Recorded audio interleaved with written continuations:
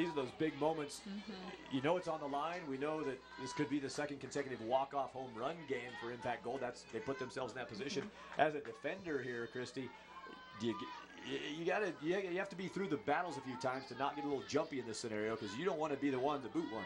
Well, and, and this is the situation with her. She's going to a big school. She she needs to have the she's going to the University of Texas Austin long well no I'm sorry Texas she's going to Texas and they're going to be in situations like this and for her to be on TV right now in this situation is good practice for her because she's going to be going to one of the top schools in the country. That's Demi Turner in the box and she tries to get one down just trying to find any way to get on board she'd really by the look of that, she'd really like to get her teammate Reagan Bunker back to the plate. Reagan has hit a home run in this game. Well, and at this, yeah. I'm not a big, I'm not a big one-handed bunt type of person. You just don't have as much control of the barrel. Um, the ball's more likely to foul off because it's hard to control the barrel with just one hand. Um, you can't place it as well. You can get out of the box just as fast if you have two hands on than one. Um, and in this situation, you know, I would like to see her hit or power slap. I wouldn't be bunting in this situation. 2 1 count, pay a money pitch at least, and that's going to be a single. Will they send her? Nope, going to leave it at first and third. Runner trying to move up. Dives in safely. Now the run trying to score. That's safe at the plate, and the runner moving to third. Oh, wow. I talk about station to station all on one play. Everybody moving up, moving around, and that ties the game at seven runs apiece. And the winning run now down at third base. And you can see right here, a nice hit, straight up the middle. She comes up, Turner dives in safely to two, and the throw to home gives a chance for the run to score. And that's a great call by the uh, home plate umpire. She didn't tag her with the, her glove or the ball. It was only with the elbow.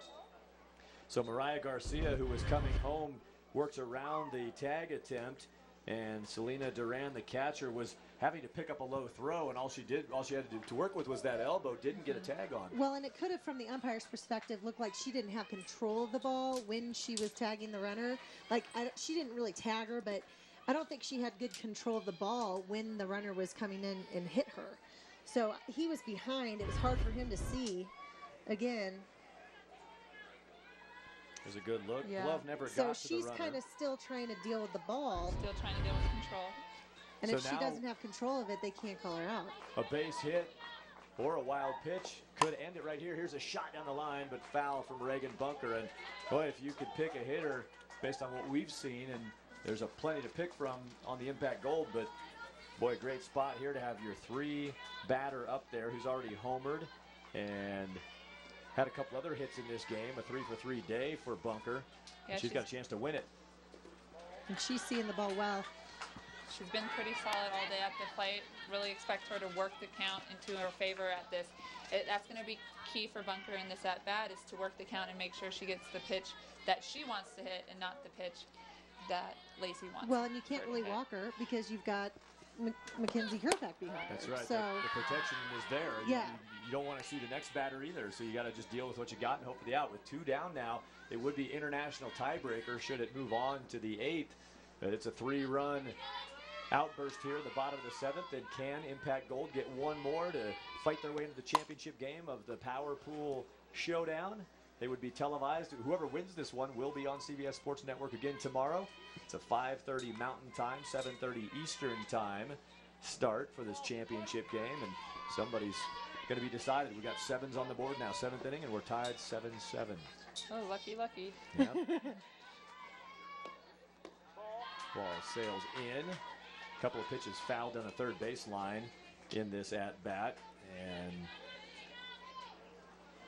Bunker has worked the count full. 3 2 is the count. 3 and 2 is the count. So big payoff pitch here with a runner at third. The winning run at third. Ball hit hard and just foul, foul again. Just inside that line, I'll just a little bit more. And She's she used keeps that line throwing, three or four times. Yeah. yeah, and she keeps pulling it. So you know, maybe mixing up speeds here. Pull, put one, you know, throw a changeup in there when she knows she's, you know, three and two count. She's swinging at almost anything close. Mm-hmm. She's not the type of hitter that wants to walk. She wants to get that hit. She wants to be in this position. Here it comes again, the payoff pitch, 3 2 2 down. Ball four just missed in. First and third now. Two runners aboard, but that trail runner doesn't really make any impact here. It's all about that runner at third. Will they put something on? And Bunker has been run for in this game and will be so again by Morgan Herzog. And now you have Mackenzie Kerpack up, who last game hit a walk-off home run. So, so a little deja vu. Yeah, absolutely. This is not the situation that the Minors Gold wanted to be in, but they'll have to persevere. And now with a with